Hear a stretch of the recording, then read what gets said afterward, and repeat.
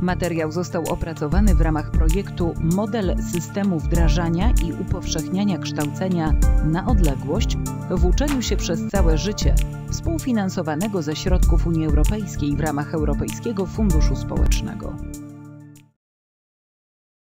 Witaj. Zapraszam do obejrzenia wideokastu dotyczącego siódmego modułu kursu Planowanie imprez i usług turystycznych. Dzięki informacjom zaprezentowanym w filmie zdobędziesz niezbędną wiedzę przewidzianą w tej części szkolenia. Marża to różnica między kwotą należności, którą ma zapłacić nabywca usługi, a faktycznym kosztem poniesionym przez podatnika.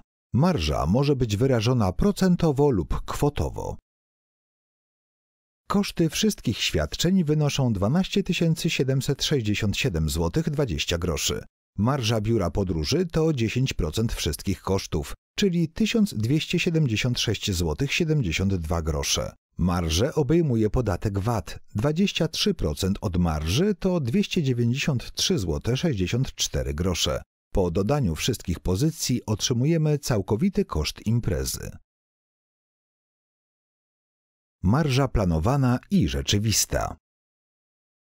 Marża handlowa to różnica pomiędzy ceną płaconą przez kupującego, a ceną zapłaconą przez przedsiębiorcę wynikającą z kosztów i zysków przedsiębiorcy.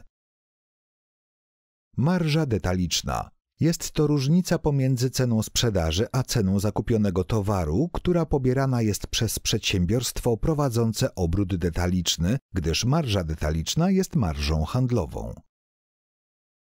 Marża kwotowa to marża handlowa przyczyniająca się do powiększenia ceny zakupu produktu bądź usługi. Organizator turystyki określa kwotę, jaka zostanie doliczona do świadczeń i tym samym przyczyni się do zwiększenia ceny imprezy turystycznej.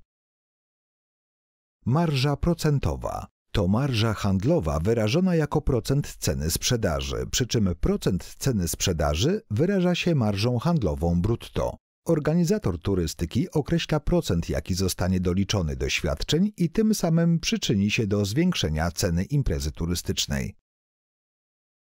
Zadaniem marży jest rekompensata wydatków związanych z organizacją imprezy turystycznej, np. przygotowanie, reklama, sprzedaż, realizacja. Rekompensata części wydatków związanych z prowadzeniem biura podróży. Uzyskanie zysku z organizowanej imprezy.